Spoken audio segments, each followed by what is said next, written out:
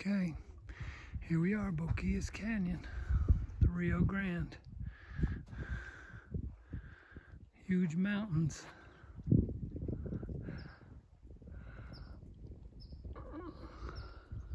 Yeah, I almost strained myself, twisting my back to show you those mountains. I don't know if you can tell how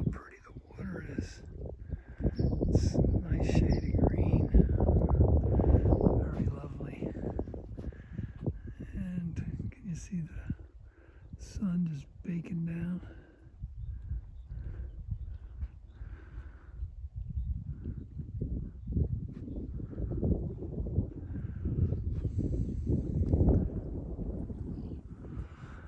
All right, there's a complete 360.